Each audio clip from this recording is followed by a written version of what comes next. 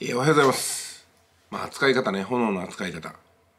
炎の扱い方や刃物の扱い方がいい悪いっていうのはこの本人に委ねられてるわけなんですけども、やっぱ同じようにテクノロジーとか情報っていうのも、あの、よく情報化社会って言われてますけども、情報を扱いかねてる人っていうのは問題ばっかりをね、集めてきたりとか、まあ、いろんな自分を苛むことばっかりをね、いろんなところから収集してくるっていうところがあります。精神的に参ったり、所得が下がったり上がらなかったり、自由な時間がなくなったりとかね、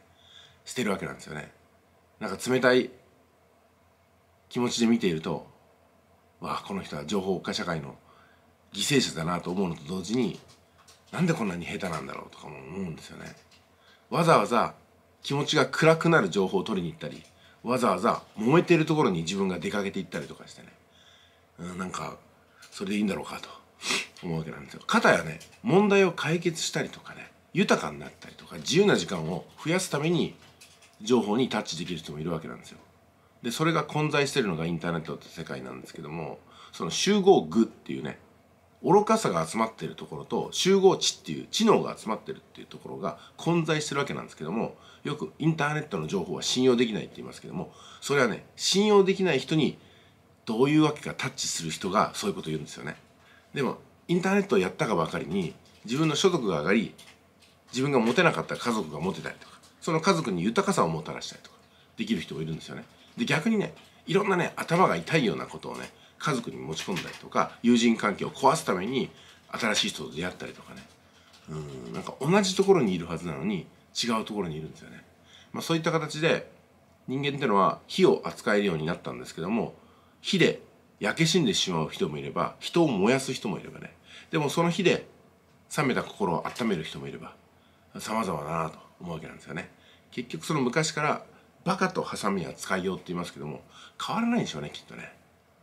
その概念は。だから概念は変わらなくても自分がどっち側の概念に居続けるかってことが非常に大事なわけなんですよ。あのちょっと話変わってくるんですけども結婚相談所の方とね長い間コミュニケーションを取っていたんですけどもこの度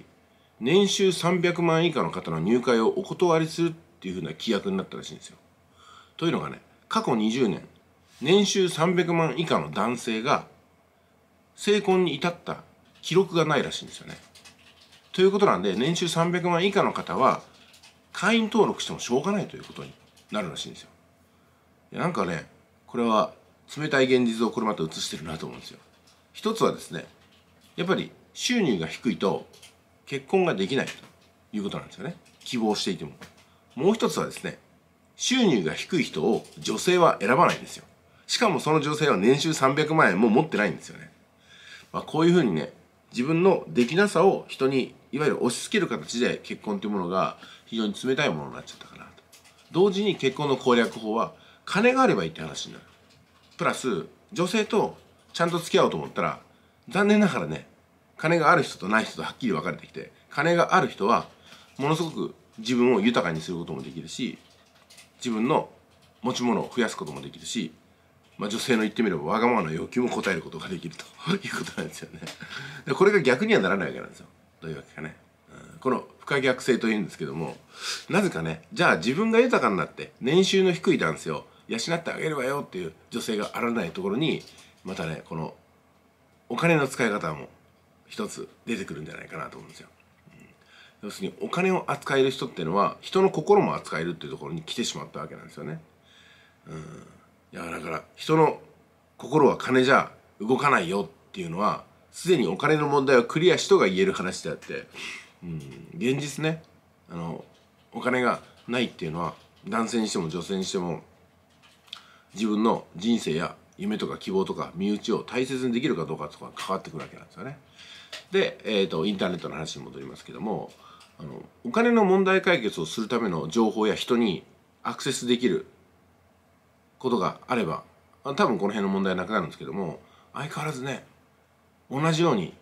スマホやネットパソコンってこういうものを使ってるのに問題が延々と解決できずに逆に問題を増やしていく人もいるってことなんですよ。まあ、常々その人間がテクノロジーというふうに言い始めた火の使い方ね、まあ、これには有利していきたいなと思うところでございます。えーということで今日も2時42分です。一日スタートしましょうおはようございますよろしくお願いしますいってらっしゃい